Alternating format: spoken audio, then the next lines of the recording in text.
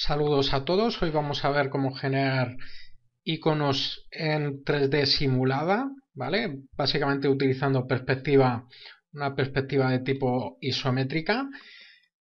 Vamos a ver, en principio, como ya habréis imaginado, Photoshop nos ofrece también la funcionalidad de generarlas en 3D con su herramienta de 3D, pero vamos a ver cómo se hacía antiguamente, para que veáis también el sistema y aprendamos un poco más. Además, los resultados en algunos casos son incluso un poco más controlables.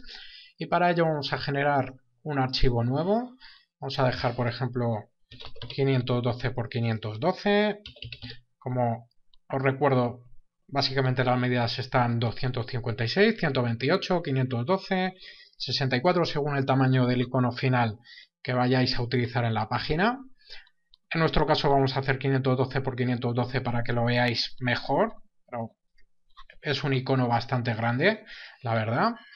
Y ya con el lienzo disponible lo que vamos a hacer es utilizar la herramienta de formas. Fijaros que está, posiblemente la veáis así.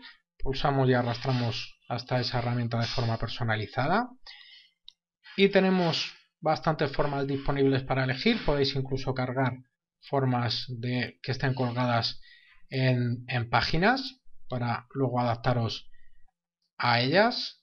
Fijaros que tenemos, como os comentaba, bastante disponible. Vamos a utilizar, por ejemplo, esta. Podemos usar cualquiera de ellas. Como veis, también tenemos diferentes librerías que podemos seleccionar. Y con esa forma creada vamos a pulsar la tecla mayúscula del lado izquierdo del teclado. Pulsamos la dejamos pulsada y pulsamos con el botón izquierdo del ratón y arrastramos para generar una forma más o menos de este tamaño. Como veis, la posiciono con esa herramienta de mover y vamos a pulsar sobre la herramienta marco rectangular, pulsamos el botón derecho y hacemos una transformación libre de trazado. Vamos a pulsar nuevamente el botón derecho del ratón sesgar y lo vamos a como veis, sesgar un poco hacia arriba. Vamos a hacerlo también sobre esta posición. Básicamente, luego tendréis que jugar. Vamos a pulsar botón derecho escala. Como os decía, básicamente tenemos que jugar un poco con las diferentes opciones que nos ofrece. En este caso lo he hecho de esta manera. Pulsamos Enter. Fijaros que por ejemplo, en algunas, en algún otro tipo de formas, por ejemplo, voy a utilizar esta, la crearíamos igual con la tecla mayúscula, arrastramos, pulsaríamos botón derecho primero con la herramienta marco rectangular, transformación libre de trazado, básicamente la he creado en el mismo lado, voy a pulsar escape y pulsar control Z, voy a generar una nueva capa, a ocultar esta para que lo veáis, como os decía, generamos esa forma y hacemos el transformación libre de trazado. En este caso, en vez de las transformaciones que he hecho en la otra forma, posiblemente, como veis, encogería un poco de, de arriba, pulsaría botón derecho nuevamente sesgar y la arrastraría más o menos así.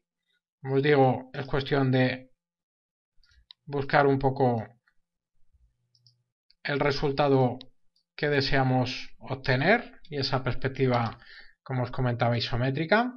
Y una vez ya conseguidas las formas, vamos a utilizar esta en particular. Como os decía, lo que vamos a hacer a continuación es con la herramienta de mover seleccionada voy a eliminar esta de aquí arrastrándola a la papelera. Aseguraros de que tenemos esta capa seleccionada. Y como decía, pulsamos la tecla ALT del lado izquierdo del teclado, nos aseguramos de que esté la herramienta de mover y manteniendo pulsada esa tecla vamos a pulsar la flecha del teclado hacia arriba repetidas veces, como veis nos genera una especie de extrusión, vamos a pulsar alguna vez más. Y esta extrusión lo que vamos a hacer ahora es ajustarla, en primer lugar vamos a seleccionar la segunda capa que tenemos disponible, la primera la dejamos libre nos vamos hasta la última capa y con la tecla mayúscula pulsada pulsamos sobre, en este caso, la penúltima. Fijaros cómo hace esa selección dejando libre la primera y la última. Y nos vamos a capa combinar capas, de esta manera las combinamos. Y a continuación vamos a pulsar sobre la máscara que contiene esa forma de la parte superior y vamos a cambiarle el color de negro a otro color. Vamos a asegurarnos de que tenemos la herramienta de forma seleccionada. Como veis, ese cuadradito, ese borde punteado. Y ahora sí podemos, como veis, cambiar el color. Voy a colocarle, por ejemplo, este rojo. Al igual que podemos hacer en la capa inferior. En este caso vamos a dejarla por ahora libre. Y fijaros que nos quedaría esta disponible. Lo que vamos a hacer es como ya no es una forma, ya no podemos cambiar el color directamente, podemos ajustarlo. Realmente lo podíamos haber hecho desde el principio ya con el color definitivo, pero para que veáis que podemos hacerlo a través, perdón, de imagen ajustes, tono saturación, colocamos colorear y ajustamos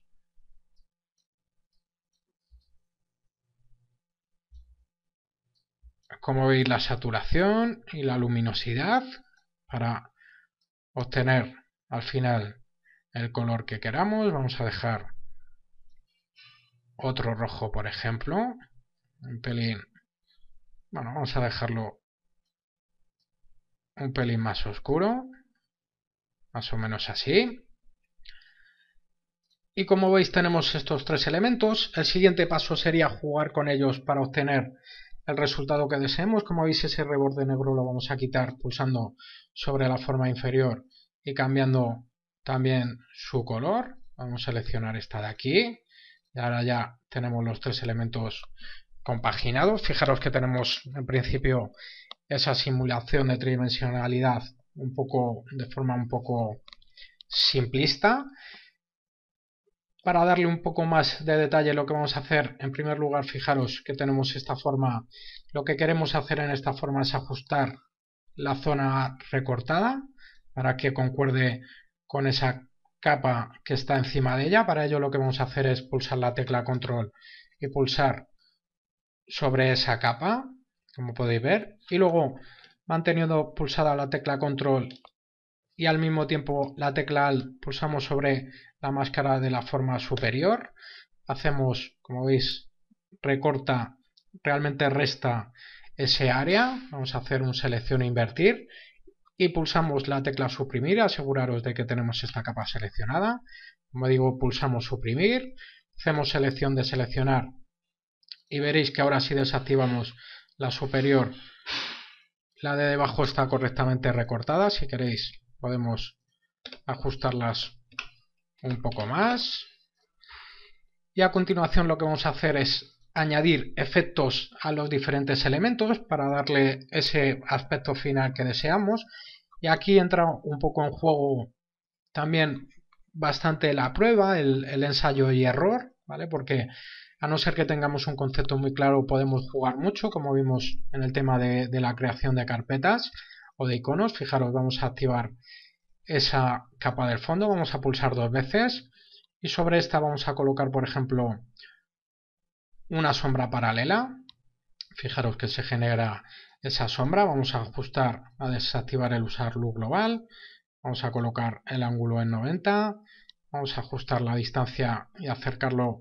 Podemos, como podéis ver, hacer que la forma flote si queremos o dejarla un poco más ajustada, como es el caso ajustamos el tamaño, podemos ajustar también la extensión si queremos el efecto de sombra un poco menos sutil y luego obviamente podemos jugar con la opacidad.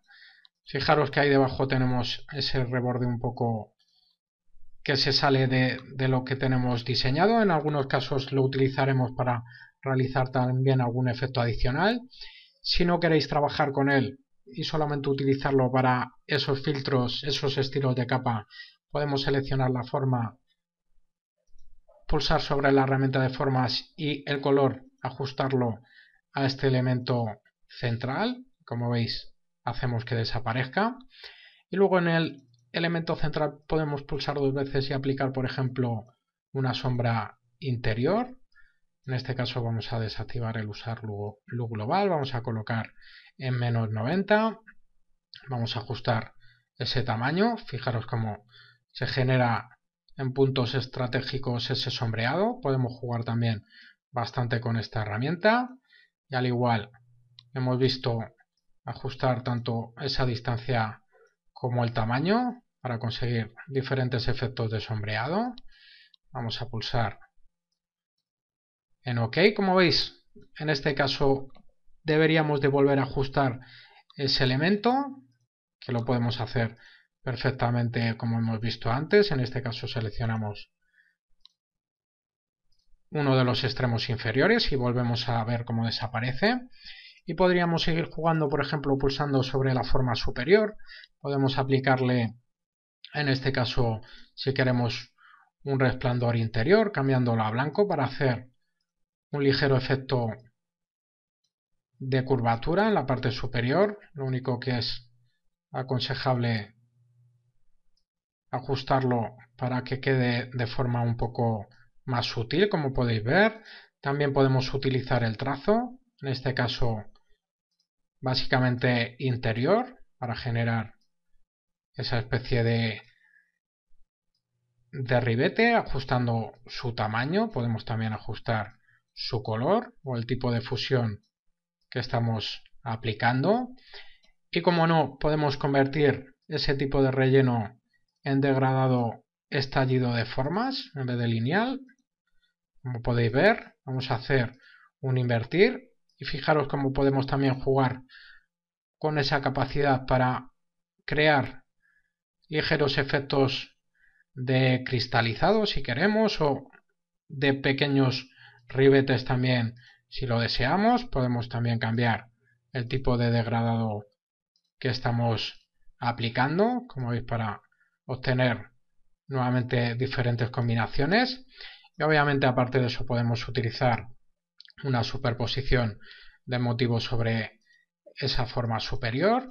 Y como veis, bastantes opciones con las que jugar. Al final nos quedaría un elemento de este estilo os aconsejo que, practiquéis un poco con, con, ella, que apliquéis diferentes estilos de todos los que hemos visto. También podemos aplicar ese satinado, un degradado, etcétera.